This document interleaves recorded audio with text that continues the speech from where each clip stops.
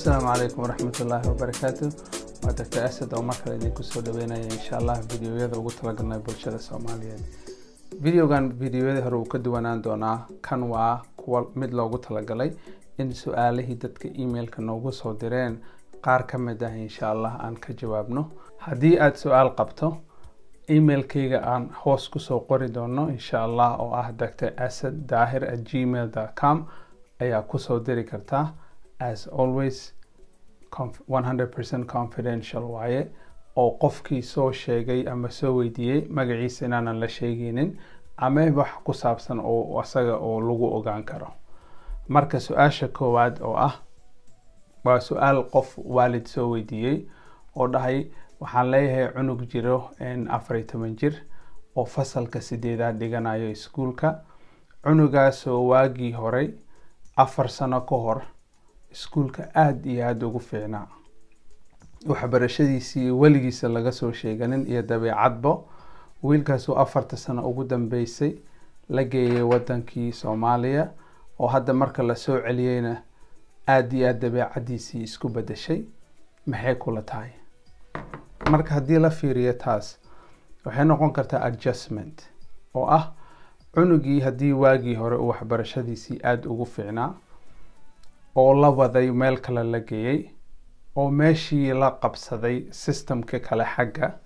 Haddana la soo celiyey haddana meesha la keenay oo hadda haddana iskuulkii marka la geeyey oo dhici karta inuu ardayda kalaaska uu kula jiro uusan la qabsan karin waxbarashada ay ku adag tahay.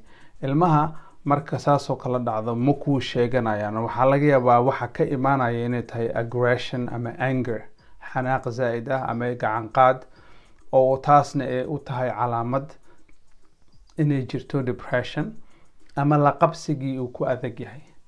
Taas waa calaamad aada iyo aada hadeertan soomaalidana ugu soo badatay. Waagii hore waxaan ahaan jirnay anaga dad oo nomadic ah dad oo xoolo dhaqato ah. Baryahan sanadyada ugu dambeysa laakiin ilmihii sida xoolihii oo kale loo daajin jiray ayaa loo daajiyaa. Oo cunugii isagii hataa oo lagala tashanin ama plan educational plan loo sameynin ayaa waxaa laga yaabaa in la wado wadankii la geeyo wadankii ay ku qaadato waqti inuu la qabsado oo hadhow haddii markii uu finally u dhahay waa la qabsade haddana familigii ay dhahaan o waa laabaneynaa haddana meeshiyaa loo laabanaa oo hadeertan uu dareemayo xanaaq ama resentment uu waalidka u qabo uu maanta hadeertan sada su'aasha sheegayso oo cunugii dabeecadiisii isbeddel weyn lagu arkay xanaaq u badan yahay. Marka haddii saas ay jirto waxaan dhihi lahaa qofkaas oo hadeertan sidaan maaragtay talada raacinayo oo qofka uu joogo america aan dhahayo kale iskuulkiisii maaragtay social workerada joogto kala hadal fiiri dabaraac. Haddii recommend garayaan in loo sameeyo psychotherapy in lala hadlo taasna ay ku habboon tahay iyo xitaa xoogaho yar inuu support helo oo niyadda loo dhiso. Waxa dhacda waxa waaye often times waalidkii ayaa ma aragtay sidaan arko soomaali badan ilmaha celiyaan waalidkii ayaa xoogaho nolosha inta inconvenient ku noqonaysa ama ku adkaanaysa ayagoo ka fikiraynin carruurta maxaa oo isbedelkaas uu ku sameyn karaa ayay daf ilmihii siinayaan meel kale la geenaa. Hadhow haddana meeshii kalea xoogoo la xumaanaysa waalidka haddana way soo laabanayaan marka taas u baahan in cunugii maaragtay la sii eedeynin isaga laakiin la garab qabto oo wixii uu u baahan yahay markaas in social workerka iskuolka lala hadlo iyo dhakhtarkiisana lagala hadlo arrintaas ay noqon karto depressionka hore uga soo hadla anxiety noqon kartaa waxay noqon kartaa adjustment noqon kartaa even waxay noqon kartaa inuu xoogaho maxaa lahaa waxbarashada ku adag tahay uu u baahan yahay haddii maaragtay iskuullada four five o four plan ama ay noqon karto i e p. Laakiin haddii hore ugu fiicnaa waxbarashada haddana maaragtay u hagaagi karto insha allah su'aasha kale labaad ayaa ah waa qof uurla uur leh oo maaragtay videogii horey daabatay oo ku saabsanaa maqaarka dadka kareemooyinka isticmaalo oo isku caddeeyo waalidkan oo codsaday dhahay aniga kareemo ayaan isticmaalaa. Kareemadaasoo waxa aa sheegtay oo dhahday steroid ayaa ku jirto ama mercury ayaa laga helaa. Marka labelka ma noogu qorno sideen ku garan karnaa in waxaan uu yahay waxaas uu ku jiray in kale. Su'aashan waa really important waaye muhiim waaye maxay u tahay? Kareemka adiga aa isticmaaleyso sababta u isticmaaleyso maxay tahay? Kareemka haddii uu qofku u isticmaalayo inuu isku caddeeyo ama haddii u isticmaalo hataa dadka waxaa waaye hadda ma lagu dhahayo waa la isku caddeynaa. Lagu dhahaa glowin iyo waxyaabo kale very creative maxaa language la isticmaalaa waa glow ama waxaas oo qofka dareemayo inuu isku cadeen ku caddeynayo wixii uu ku jiraa. Waxaa kaloo jirto waxa waaye dadaa intay soo qaadaan oo waxyaabahan kareemooyinkan iyo wadamadaas ka soo qaadaan india philippine pakistan ama ama even waddamada kale oo asiada meel inta la isku keenaa wixii dhan la isku daraa waa la isku qasaa qofka magaciisu ku dhegsanaa aduu kaa gadaa. Marka haddiiba adigaa dhahday kareemka oo la isku caddeeyo dadka wuu caddeeyaa laakiin waxaan kuma qorno marka aniga waxay la tahay in wixii uu ku jiro aana u baahan tahay markaas inaad iska ilaaliso maxaa yeele qofka uurka leh wixii ku saameyn ku leedahay ama ku sameyn karto babyga caloosha ama firiska caloosha ku jiro waa waa wax xun sidaa darteed waxaan dhihi lahaa iska jooji ilaa aad ka dhasho. Haddii markaas hataa aad dhehayso waan ku laabanaa weliba faa-iidaan ka helaa aan kula talin lahaa inaadan ku laabanin. Maxaa yeele cadaantaas hadda waa temporary waayo wax yar oo weligaan ina isticmaasha kareemkan ayuu noqonaa. Markaa joojisani jirkaaga xanuuno zaa-id ayaa ku dheeraan kara insha allah marka iska dhaaf. Su'aasha kale ayaa iyadana ka imaaneyso qof daawaday videoga oo depressionka ku saabsanaa qofkaasoo dareemay in calaamadaha aan sheegay inuu isku arkay. Qofkaasoo aada iyo aad wax aan maaragta ugu farxo iisoo sheegay emailka oo dhahay aniga dhakhtar ayaan u tegay. Dhakhtarka uu i caawiyey oo hadeertaan aan tallaabadan aan intaasoo sannadood aan ka jiitamayay laakiin hadeertaan markaan dhakhtarkayga la hadlay axogu hataa qalbiga niyadda ii dhisantay. Taasna waa wax aada iyo aad aniga aan ugu farxayo maxaa yeele hadduu hal qof ka faa-iido anigana faa-iida ii tahay. Marka waxaan dhihi lahaa qofkaas patient ahow dulqaado maxaa yeele dhakhtarkaas wuxuu ku balan adiga a ka tashateen. Hadday noqoto psychotherapy ama hadday noqoto medication waqti ayay qaadanaysaa taasoo ha isdhihin haddii hal bil ama laba isbuuc wax ku sidii aad rabtay ee kuugu shaqeyn weysay inaad joojiso. Saa videoyada hore ugu soo sheegay sometimes four to eight weeks ayaa daawo hadduu qofka qaadanayo isbedelkaas lagu arkaa. Laakiin dulqaad xoogo yar u lahow. Insha allah aada iyo aad ayaan ugu farxay in emailkaas soo dhacday. Aana arkay in qof uu joogo maaragtay waddankan uu ka faa-iiday iyo dad badan oo tobigaas hataa ay soo sheegeen insha allah. Midda su'aasha.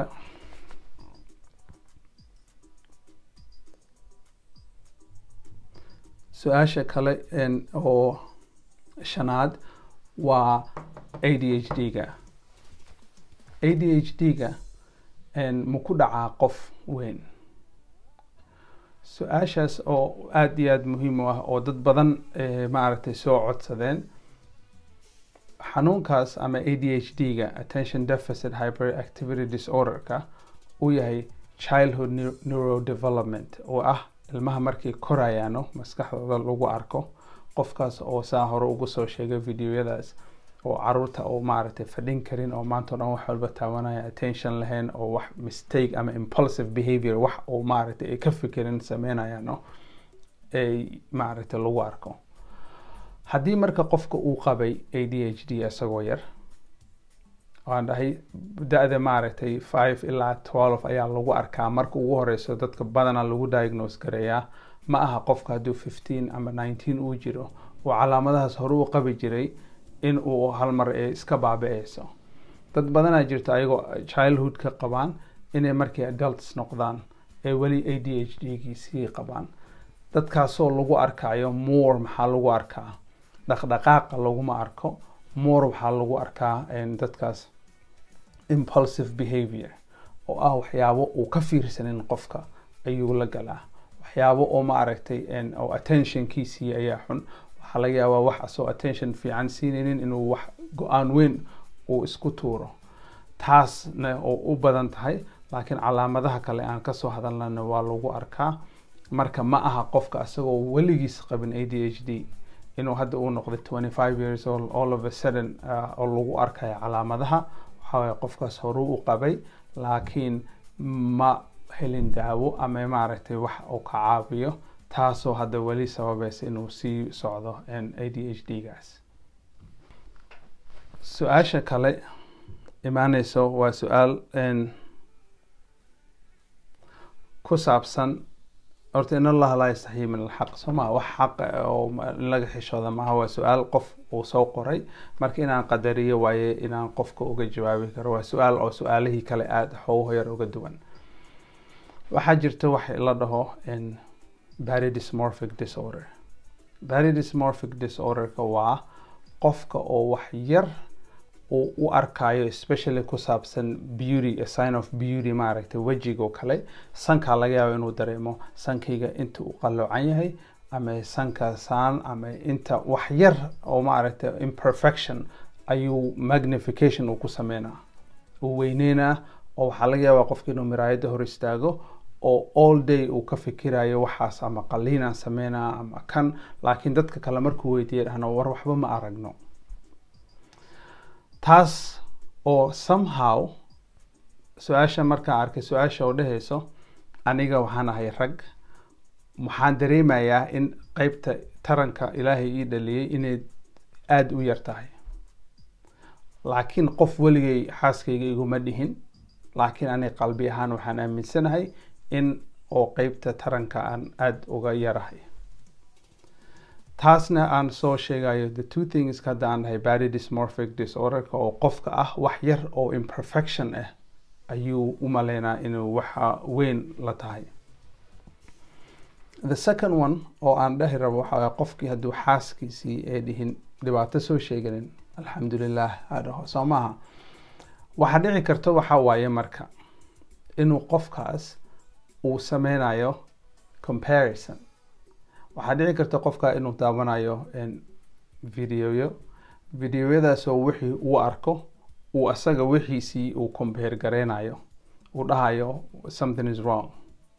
Oona wax proven ay tahay dad qofka markay waxaas daawadaan especially children markay daawadaan the expectationka uu u maleeyo waxa inuu dhacayo iyo waxa realityga dhacayo inay completely different yihiin so marka waxaan dhihi lahaa haddii qofka ay tahay xaaska ay calaacalin alxamdulilah haddii ee wax dhahday still waxyaabo kale ayaa jiro uu qofka sameyn karo.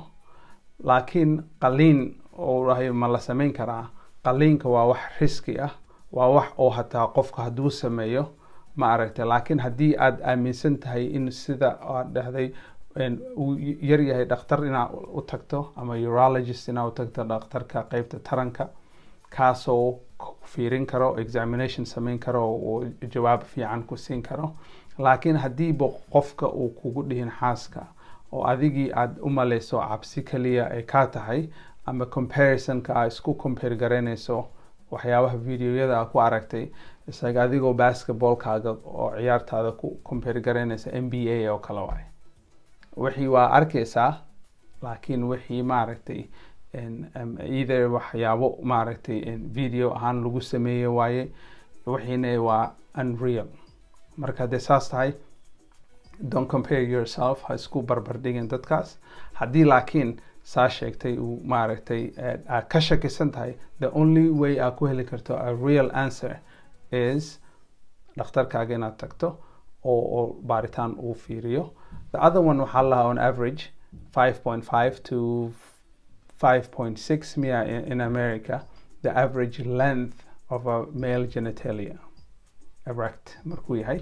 So that would give you xoogo yar maku dhahay qof walba ha soo qaato measurement tape ha lays cabiro laakiin saa ma dhihin. Laakiin haddii aad dhehayso taasaan sameynaa intaan dhakhtar u tegin waa sameyn kartaa or you could google xitaa waa fiirin kartaa waxa maaragtay average male uh, penis length haddaa dhahdo waa arki kartaa. Laakiin wax haddii kale dhinaca ha u qaadanin.